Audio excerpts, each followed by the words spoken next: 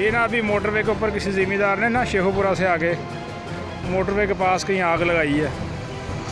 और जराबे वाला वो एक गाड़ी वाला ये खड़ा है, इसने गाड़ी रास्ते में लगाई है साइड पे।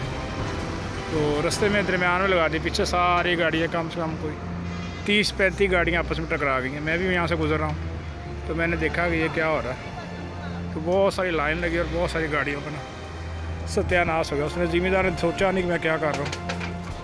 और कितने लोगों का नुकसान हो गया, पता नहीं क्या क्या लोगों के चोटें भी लग गई हैं, बड़ा सारा एक्सीडेंट हो गया। ये जगह गाड़ियाँ कैसे टकराई? ये अभी जुमे के बाद का टाइम मैं इधर से गुजरा फैसला बस लाहौर जा रहा था। तो ये देखा मैंने क्या हाल है इस रस्ते। अल्लाह बचाए उस बंदे ने सोचा नहीं कि मैं क्या कर रहा हूँ। थोड़ी सी आग लगाई है सारी गाँव उस उसकी तरह आग लग गई है दरख्तों वगैरह में। सारी गाड़ियाँ टकरा गई बहुत सारे लाइन लगी ये ना अभी मोटरवे के ऊपर किसी ज़िम्मेदार ने ना शेखोपुरा से आगे मोटरवे के पास कहीं आग लगाई है।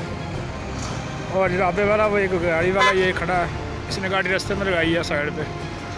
तो रास्ते में दरमियान में लगा दी। पीछे सारी गाड़ियाँ कम से कम कोई तीस, पैंतीस गाड़ियाँ आपस में टकरा गई हैं। मैं भी यहाँ से गुजर रहा हूँ।